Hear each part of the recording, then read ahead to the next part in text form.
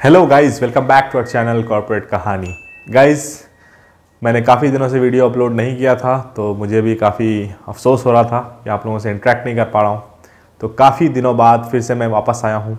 तो आज मैं उस इंपॉर्टेंट टॉपिक की बात कर रहा हूँ, जो कि आपको जानने की क्यूरोसिटी होगी क्योंकि पिछले दो वीडियोज़ में मैंने ऑन साइट की बात की थी। अब उसी सीरीज़ को आगे बढ़ाते हुए आज हम बात कर रहे हैं सैलरी ड्यूरिंग ऑन साइट की। यानी जब आप टीसीएस में होते हैं तो किस कंट्री में जाते हैं तो कितनी सैलरी मिलती है, इस पर हम आज बात करेंगे। तो एक दो एग्जांपल मैं बाहर की कंपनीज़ का भी दूँगा, जो लोग यहाँ से सेलेक्ट होकर वहाँ गए थे और उनको कैसा फील हुआ, इन चीज़ों का भी एग्जांपल दूँगा। प्लस सबसे मेरा जो फोकस होगा, वो टीसीएस ही होगा, क्योंकि मैं टी वालों को ज़्यादा करीब से जानता हूँ, जो कि ऑन साइड गए हैं। तो गाइज़ इससे पहले कि मैं आगे बढ़ूँ, एक आध चीज़ें और बता दूँ आपको कि हमारे पास जो हमारा ये चैनल है इस पर एक प्लेलिस्ट बनी हुई है ऑल अबाउट टीसीएस उसमें आपको सारा नॉलेज मिल जाएगा। इवन आप टी सी ज्वाइन कर रहे हैं, उसका आप रिज़ाइन कर रहे हैं, उसका और अंदर की क्या क्या चीज़ें हैं लीव्स कौन कौन सी हैं, सारी चीज़ें उस प्लेलिस्ट में आपको मिल जाएँगी। काफ़ी मेहनत से बनाया है, आप लोग जाकर उसको ज़रूर देखें, अपने दोस्तों में शेयर करें, जिनको इस तरह के वीडियोज़ की ज़रूरत है। तो गाइज़ बढ़ते हैं आगे और जानते हैं ऑन साइट सैलरी टीसीएस में कितनी होती है कैसे दी जाती है, किस बेसिस पर दी जाती है। सबसे पहले बात करते हैं गाइज़ एक ऐसे बंदे की जो आई था, जिनका पैकेज आठ से दस लाख था टीसीएस के अंदर और वो जाता है सऊदी अरबिया तो वहाँ पर जो गए, उनको लाइक वहाँ पर जो ऐसा हुआ कि वो शॉर्ट टर्म के लिए गए थे लाइक छः मंथ चार, पाँच मंथ के लिए। तो इस केस में उनको क्या हुआ था गाइज़ उनको यहाँ की जो सैलरी मिल रही थी, वो कंटिन्यू थी, वो उनको मिल रही थी। इसके अलावा वहाँ पर उनको एकोमोडेशन और खाने पीने का खर्चा मिल रहा था। उसमें अराउंड गाइज़ उनको टेन थाउज़ेंड रियाल मिल रहा था। टेन थाउज़ेंड मिल रहा था रियाल उसके साथ साथ क्या हो रहा था गाइज़ उनको टी सी एकोमोडेशन प्रोवाइड कर रही थी तो उसके से पैसे काट रही थी, यानी पच्चीस सौ से तीन हज़ार रियाल उनके कट जा रहे थे। और खाने का जो खर्चा हो रहा था, वो अलग हो रहा था। वो लाइक एक हज़ार पाँच सौ रियाल वो हो रहा था। तो इस तरह से उनको वहाँ पर with T C S accommodation बच रहा था। वो था डेढ़ से दो लाख के करीब। फिर उन्होंने क्या किया? वहाँ पर तिक्रम लगाया, उन्होंने लोगों से बात की कि यहाँ पर कैसे पैसे ज़्यादा बचाया जाए। तो जो पुराने उनके लोग थे, जो कि वहाँ पर पहले से थे, उनके कॉलीग थे, उन्होंने बताया कि आप टी सी एस के अकोमोडेशन में पैसा वेस्ट मत करो। आप एक कोई ऐसा आउटसाइड अकोमोडेशन ढूंढ लो और टी सी एस के अकोमोडेशन छोड़ दो। तो उन्होंने वही काम किया। टी सी एस का अकोमोडेशन बहुत हाई फाई उनको मिला हुआ था, बहुत अच्छी फैसिलिटी के साथ। तो उन्होंने उसको छोड़ दिया। उसके बाद उन्होंने ज्वाइन कर ली एक एक छोटी सी जगह पर जहाँ पर उनको एक रूम मिल गया था। काफ़ी अच्छा रूम था। काफ़ी अच्छी फैसिलिटीज़ थी वहाँ पर। तो वहाँ पर वो चले गए। वहाँ से गाइज़ उनको ढाई लाख रुपए पर मंथ बच रहे थे। इस तरह से। तो उन्होंने बताया कि जो टीसीएस का जो रियाद वगैरह का जो ऑनसाइट है, वो काफ़ी अच्छा है। अब इस रीज़न से अच्छा है कि वहाँ पर ज़्यादा आपको क्लबिंग इस तरह की डांसिंग बार वगैरह नहीं है तो वहाँ पर उतना ज़्यादा खर्चा नहीं होता। बस खाने का ही खर्चा होता है। तो अब तो शायद वो भी वहाँ पर होने लगा है, लेकिन फिर भी बाकी कंपनी कंट्रीज़ से कम है। और इतना ज़्यादा घूमने का भी नहीं है कि आप बहुत ज़्यादा घूमेंगे इधर उधर जाएँगे साइट सीइंग करेंगे। तो एक और ये भी फैक्टर है तो इसकी वजह से क्या होता है, वहाँ पर आपकी बचत अच्छी खासी हो जाती है। अब मैं बात कर रहा हूँ ऐसी कंट्री की, जिस जगह पर जो है वो एशिया में ही है, और वहाँ पे भी लोग काफ़ी जाते हैं टी के थ्रू तो बहुत ज़्यादा जाते हैं। वहाँ की बात कर रहे हैं, वो है मलेशिया। मलेशिया के लिए ऑन साइट होता है, इंडोनेशिया के लिए भी ऑन साइट होता है, लेकिन मलेशिया के बारे में मुझे ज़्यादा जानकारी है, क्योंकि मैंने उस बंदे से बात की जो कि मलेशिया में है।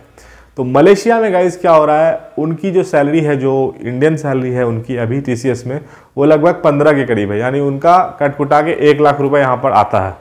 लेकिन वो मलेशिया में है अभी तो वही सैलरी उनकी वहाँ पर डबल है। तो इससे आप अंदाज़ा लगा सकते हैं और वो जो बंदा है, वो असिस्टेंट कंसल्टेंट है। यानी अगर आप आई होंगे तो शायद उसमें थोड़ा सा कम होगा। तो एक लाख यहाँ आता है, एक लाख वहाँ आता है तो उनको थोड़ी सी वहाँ पर बचत हो जाती है। कंपेयर टू अदर कंट्रीज़ वहाँ पर उतनी बचत नहीं है। लेकिन दूसरा फ़ायदा वहाँ पर यह है गाइस मलेशिया में अगर आप मलेशिया जाते हैं, वो जगह आपको पसंद आ जाती है तो वहाँ पर यह है गाइस अपॉर्चुनिटीज़ बहुत ज़्यादा हैं, बहुत ज़्यादा जॉब्स हैं, बहुत ज़्यादा स्विच के चांसेस हैं तो वहाँ पर आप स्विच कर सकते हैं। तो ये एक बेनिफिट है। उसके बाद बात करते हैं गाइज़ एक दूसरे कंपनी की। एक कंपनी है टेस्टिंग एंड वेरिफिकेशन करके। तो वहाँ पर एक बंदे का सिलेक्शन हुआ था। जब मैं दो तीन साल पहले जब मैं फ्रेशर था, तब मुझे लाइक पाँच छः साल पहले जब मैं फ्रेशर था, तभी मुझे उनके बारे में मालूम चला था। टेस्टिंग एंड वेरिफिकेशन में वो थे तो उनका जॉब डायरेक्टली वहीं लगा था यूके में। वो यूके गए तो उन्होंने बताया कि उनको वहाँ पर फोर थाउज़ेंड पाउंड मिलता था। वो लाइक दो तीन साल का ही एक्सपीरियंस था। वो आपको उसमें थे इलेक्ट्रॉनिक्स का जो चिप वगैरह डिज़ाइनिंग होता है डी उसको वी वगैरह बोला जाता है, उसमें थे तो उनको वहाँ पर फोर थाउज़ेंड पाउंड मिलता था। तो उनको वहाँ पर मन बिल्कुल नहीं लगता था। तो वहाँ से वो भाग गए। यानी अगर आप चार लाख के पैकेज में वहाँ पर अगर ज्वाइन करते हैं इंडिया का चार लाख का पैकेज अगर होता है, उसके बाद अगर आपको वहाँ पर ऑफ़र मिलता है तो वहाँ पर आपको फाइव थाउज़ेंड पाउंड तक मिलेगा। उन्होंने बताया कि वहाँ पर खर्चा भी बहुत ज़्यादा है और वहाँ पर नॉर्मल इंडियंस को जो ज़्यादा लोग नहीं हैं जिनके वहाँ पर वहाँ पर ज़्यादा उनको मन नहीं लगता है। लेकिन वो वहाँ पर रहे और कुछ दिनों में वहाँ से भाग गए क्योंकि उनको वहाँ पर बिल्कुल मन नहीं लगा।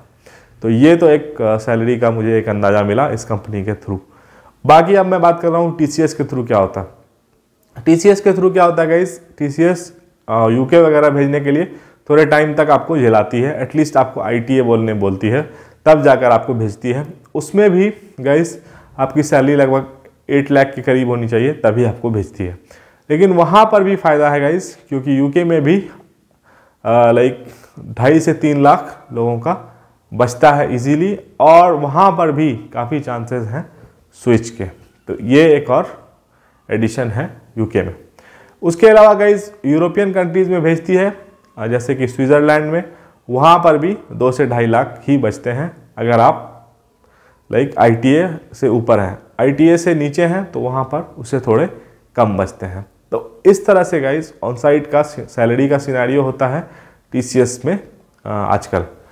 अब मैं बात कर रहा हूँ गाइज़ अगर आपको लाइक ऑन साइट मिल गया है तो आपको वहाँ पर और क्या क्या बेनिफिट्स हो सकते हैं?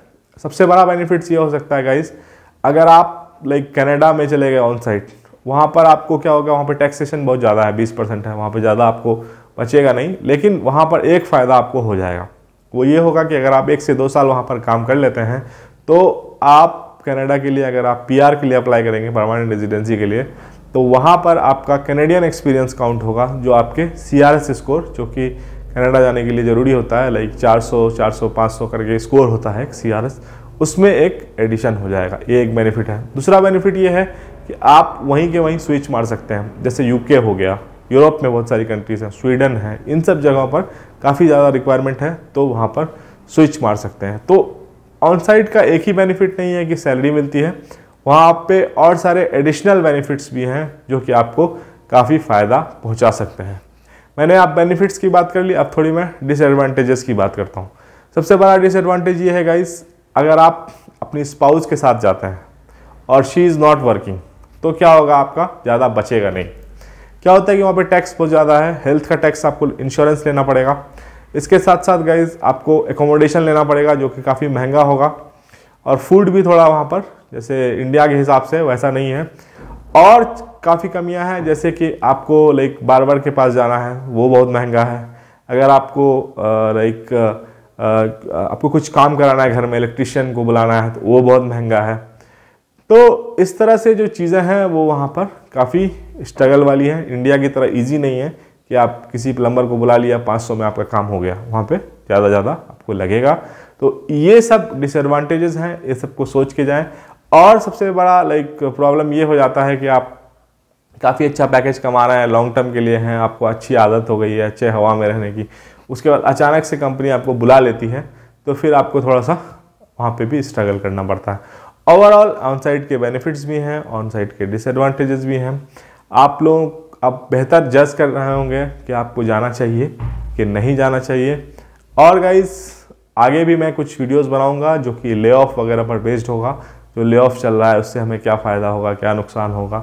तो इन सब चीज़ों पे भी मैं बात करूँगा। तो हमारे चैनल पे इसी तरह से आप बने रहिए और ऑन साइट सीरीज़ को आगे बढ़ाएँगे। अगर कुछ और टॉपिक मुझे समझ में आया तो मैं और आप लोगों को हाईलाइट करके फोकस करके बताने की कोशिश करूँगा और आपको बताऊँगा कि क्या क्या लाइक आईटी इंडस्ट्री में हो रहा है, जैसे कि मैं आपको हमेशा अपने वीडियोस में बताता हूँ। तो गाइस मिलते हैं अगले वीडियो में, जानते हैं नेक्स्ट टॉपिक के बारे में।